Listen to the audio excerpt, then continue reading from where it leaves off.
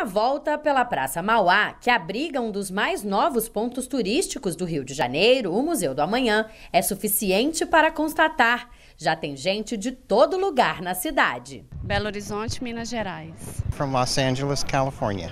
Cada um quer ver uma coisa diferente do Brasil e da cidade olímpica. O Museu da Manhã. Minha Dinda e a pracinha e as coisas bonitas que tem aqui.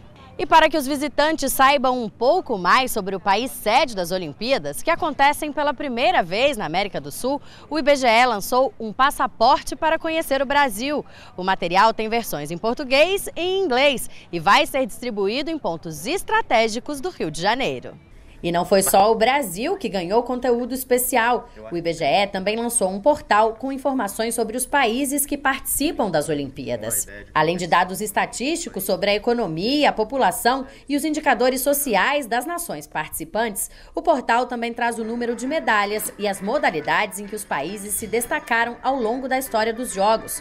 A página Países Olímpicos também tem versões em português e inglês. O endereço na internet é o países.ibge um infográfico da múltipla, das múltiplas diversidades nacionais. A diversidade humana, daquilo que somos compostos, as múltiplas etnias que convivem, e é uma espécie de um, um boas-vindas sincero a, a todos os países e povos que se reúnem aqui, todos os que saíssem indo de retorno em segurança para suas casas, dissessem para quem ficou com um pouco de receio que, olha, perdeu.